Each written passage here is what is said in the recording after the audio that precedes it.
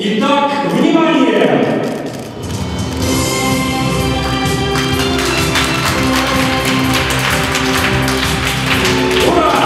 Первый шаг сделан. Компания «Фаберлик» открыла свое производство по пошиву женских водолазок. Площадку 2500 квадратных метров оснастили современным оборудованием в Фурманове.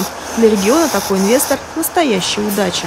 Сегодня мы рады приходу компании «Фаберлик». У нее сегодня серьезные планы в Иванской области. На этой фабрике больше 300 человек, в перспективе больше 1200 человек.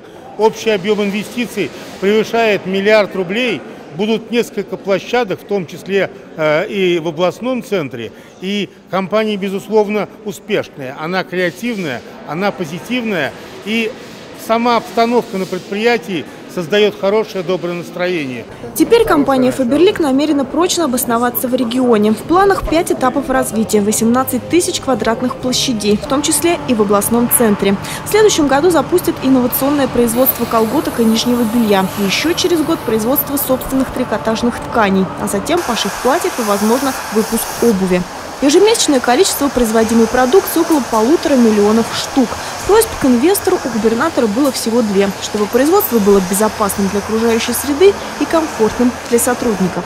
У нас будет бесплатное питание, очень хорошая заработная плата, э, транспорт, который будет ходить из всех городов Ивановской области э, и экология. Отдельно он сказал о том, что мы заботимся о том, чтобы наш край э, был чистым, и мы это тоже делаем. Очень современные инновационные очистные сооружения. Черные, синие, зеленые. Пока здесь шьют только водолазки. На новое предприятие требуются комплектовщики, закройщики, упаковщики, швеи. Первую бригаду набрали. Есть уже на примете и сотрудники для второй. Многие ездят работать в Иваново. И сейчас, когда мы открылись, думаю, что многие люди к нам вернутся. Я надеюсь, по крайней мере, на это. Вот, и сейчас действительно ребят приходят, оставляют заявки. И то есть по мере э, набора персонала мы отзваниваем, приглашаем на собеседование. Люди идут, людей привлекает прежде всего официальная заработная плата и трудоустройство с первого рабочего дня.